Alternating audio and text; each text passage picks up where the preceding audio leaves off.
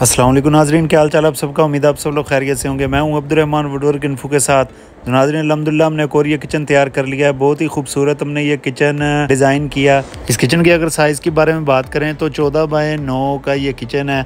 U shape में इस kitchen को तैयार किया गया। और फुल हाइट बहुत ही खूबसूरत इस किचन को डिज़ाइन किया गया। इसमें अप्लाइंसिस का यूनिट अलग से इंस्टॉल किया गया इस वीडियो में इस किचन की मुकम्मल डिटेल इसमें यूज़ किया गया मटेरियल और इसकी प्राइस के बारे में आपको बताएँगे। तो वीडियो को लास्ट तक देखिएगा और जो लोग हमारे चैनल पे नए हैं वो चैनल को सब्सक्राइब कर लें और बेल आइकन को प्रेस कर दें ताकि हमारी हर नए आने वाली वीडियो का नोटिफिकेशन आप तक पहुँच जाए। तो वीडियो को स्टार्ट करते हैं। सबसे पहले किचन डिज़ाइन के बारे में बात करें तो स्टार्ट में इधर ये प्लेट ट्रैक के लिए स्पेस रखी गई है। एलुमिनियम ग्लास डोर्स के अंदर ये प्लेट रैक इंस्टॉल किया गया। इसी के साथ ही आगे चलो तो इसकी राइट और लेफ़्ट पे इस तरीके से ये सिंगल डोर दिए गए हैं। इस किचन में आपको अच्छी स्पेस मिल जाती है। इसमें आप अपने बर्तन वगैरह रख सकते हैं। हुड की राइट और लेफ़्ट साइड पे इस तरीके से ये चार जैक वाले डोर दिए गए हैं। ऊपर वाले डोर इसमें ग्लास प्रोफ़ाइल डोर दिए गए हैं। किचन डिज़ाइन को हुड के दोनों तरफ़ सेम एक जैसा रखा गया। इसकी राइट साइड में भी इस तरीके से ये जैक वाले डोर्स दिए गए हैं।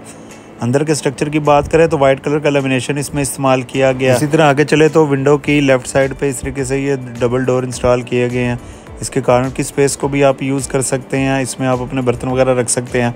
और विंडो के ऊपर इस तरीके से ये ग्लास प्रोफ़ाइल डोर इंस्टॉल किए गए और लास्ट में ये सिंगल डोर दिया गया। डाउन सेक्शन की बात करें तो इस तरीके से ये सिंपली डोर्स दिए गए हैं। इनमें आपको अच्छी स्पेस मिल जाती है इनमें आप अपने बड़े बर्तन वगैरह रख सकते हैं।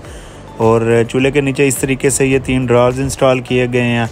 सॉफ्ट क्लोज इसमें ड्रार्स इंस्टॉल किए गए हैं और ड्रार्स के दोनों तरफ़ इस तरीके से ये स्पाइस रैक दिए गए हैं। इसमें आप अपने कप्स ग्लासेस और स्पाइसेस के बॉक्सेस वगैरह रख सकते हैं। और इसी तरह अपोजिट साइड पे ये अप्लाइंसिस का यूनिट इंस्टॉल किया गया। इसमें माइक्रो और बेकिंग ओवन बिल्ट इन इसमें इंस्टॉल किए गए हैं। इधर माइक्रो बेकिंग के साथ इधर फ्रिज इंस्टॉल होना अभी बाकी है। माइक्रो बेकिंग के साथ इस तरीके से ये टॉल यूनिट इसमें इंस्टॉल किया गया। ट्वेल्व बास्केट्स वाला ये टॉल यूनिट है। सिक्स बास्केट्स इसके एक तरफ़ हैं और सिक्स ही दूसरी तरफ़ हैं।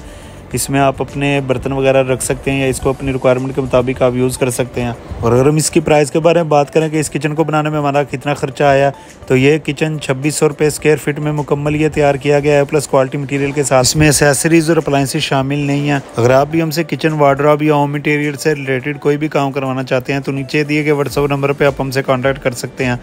आज की वीडियो आपको हमारी कैसी लगी? अच्छी लगी तो लाइक और शेयर कर दीजिएगा और चैनल को सब्सक्राइब कर दीजिएगा। आज की वीडियो के लिए बस इतने अपनी दुआ में याद रखिएगा। अल्लाह के बाद।